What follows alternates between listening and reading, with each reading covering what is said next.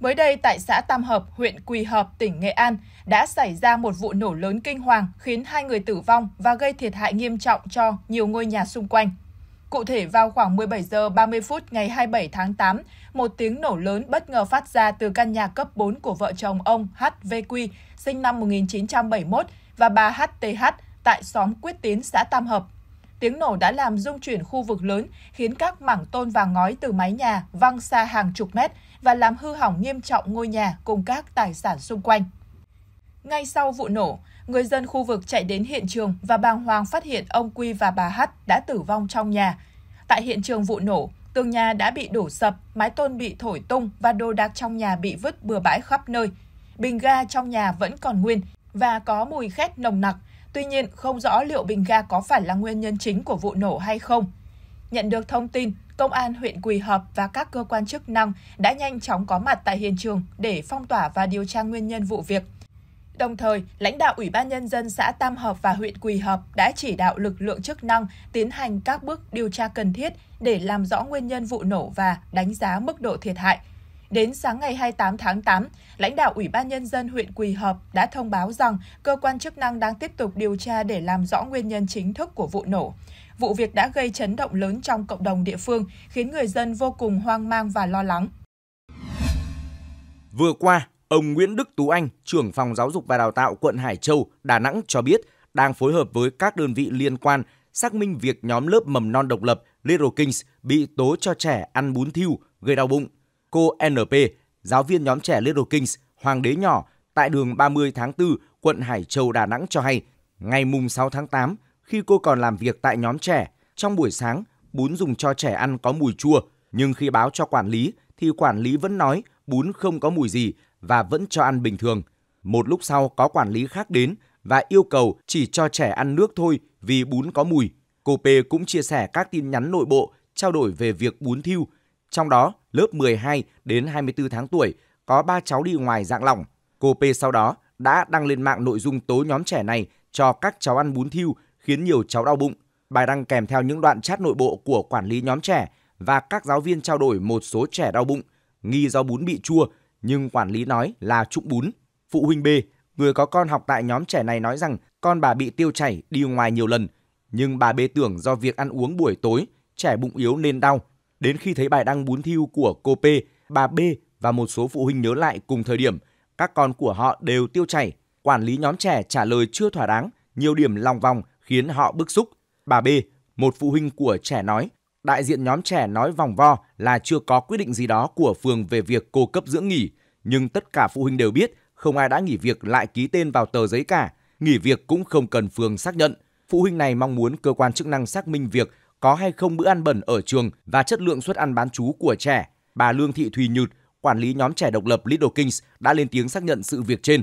Theo thực đơn, hôm đó 58 cháu ở tất cả các độ tuổi ăn món bún bò vào buổi sáng. Khi nhận được tin báo từ bếp bún có mùi, bà đã yêu cầu cho dừng lại, không cho trẻ ăn và đổi một đơn vị khác mang bún tới. Tuy nhiên, khi mang số bún này trụng nước sôi thì vẫn có mùi nồng đặc trưng bốc lên cũng y như lần một chứ không phải bún bị thiêu. Bà Như cho biết thêm, các cô giáo đã theo dõi sát sao tình hình của các cháu suốt ngày hôm đó. Tới giờ trả trẻ cũng không có gì bất thường. Một số cô giáo khi trả trẻ cũng báo là cháu bị đi ngoài cho phụ huynh.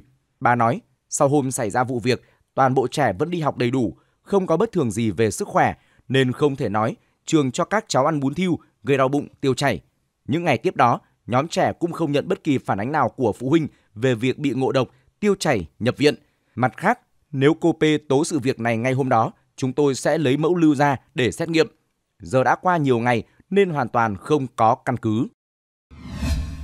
Mới đây, Cơ quan An ninh điều tra Công an tỉnh An Giang thông báo đã triệt phá thành công một đường dây tổ chức đưa người xuất nhập cảnh trái phép.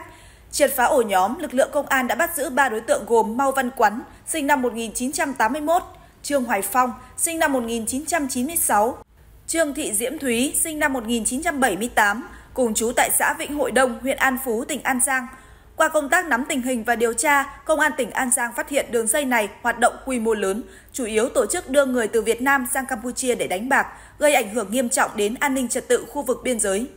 Để đối phó với tình hình này, theo chỉ đạo của Đại tá Lâm Phước Nguyên, Giám đốc Công an tỉnh và Đại tá Huỳnh Thanh Lâm, Phó Giám đốc phụ trách an ninh, Phòng An ninh điều tra đã xây dựng kế hoạch đấu tranh, phối hợp với các phòng nghiệp vụ và Công an huyện An Phú.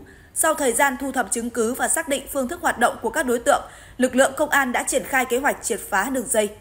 Vào khoảng 14 giờ ngày 24 tháng 8 năm 2024, lực lượng công an phát hiện Mao Văn Quán điều khiển vỏ lãi chở 3 khách và Trương Hoài Phong điều khiển vỏ lãi chở 2 khách từ một casino ở Campuchia về Việt Nam. Khi quán chở khách đến bờ ruộng thuộc ấp Vĩnh Hòa, xã Vịnh Hội Đông, huyện An Phú, lực lượng mật phục đã ập vào, các đối tượng đã nhanh chóng bỏ chạy tán loạn. Lợi dụng địa hình ngập nước, quán điều khiển vỏ lãi chạy sang Campuchia để tẩu thoát, trong khi ba khách của quán chạy vào nhà dân và bị bắt giữ. Riêng Phong điều khiển vỏ lãi chạy về bờ ruộng cách vị trí của quán khoảng 300 mét để hai khách lên bờ trốn thoát, sau đó cũng chạy sang Campuchia. Sau khi bắt giữ các đối tượng, được sự hỗ trợ của đồn biên phòng cửa khẩu Vĩnh Hội Đông, lực lượng công an đã vận động Mau Văn Quán ra đầu thú. Đồng thời, lực lượng công an đã khám xét khẩn cấp nơi ở của Trương Thị Diễm Thúy, thu giữ hai điện thoại di động, 20 triệu đồng cùng nhiều tài liệu quan trọng khác. Trương Thị Diễm Thúy đã xin đầu thú và thừa nhận hành vi phạm tội. Mở rộng điều tra, lực lượng công an tiếp tục tạm giữ 6 xe mô tô và một xe ô tô nghi ngờ liên quan đến việc đưa người trái phép sang Campuchia để đánh bạc. Đến ngày 25 tháng 8 năm 2024, tổ công tác đã bắt giữ Trương Hoài Phong khi đang lẩn trốn tại xã Phước Hưng, huyện An Phú. Kết quả điều tra ban đầu cho thấy Thúy cùng Quán, Phong và một số đối tượng khác đã hình thành một đường dây tổ chức khép kín, hoạt động có tổ chức trong một thời gian dài. Họ đã tổ chức đưa rước nhiều người qua lại giữa Việt Nam và Campuchia trái phép để đánh bạc thu lợi bất chính. Hiện tại, Cơ quan An ninh điều tra Công an tỉnh An Giang đã ra quyết định tạm giữ hình sự đối với Mao Văn Quán, Trương Hoài Phong và Trương Thị Diễm Thúy về hành vi tổ chức cho người khác xuất cảnh nhập cảnh trái phép. Công an tỉnh An Giang cũng kêu gọi các đối tượng liên quan khác hãy đến cơ quan công an gần nhất để đầu thú nhằm hưởng sự khoan hồng của pháp luật.